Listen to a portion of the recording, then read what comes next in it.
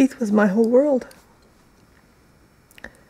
He had his work and he was so important to his work and his work for him, but for me, he was my whole world.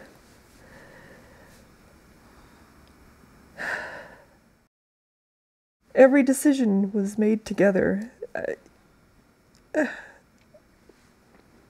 what if, you know, if he wanted something special from the grocery store or if we were planning a trip? It was just always done together.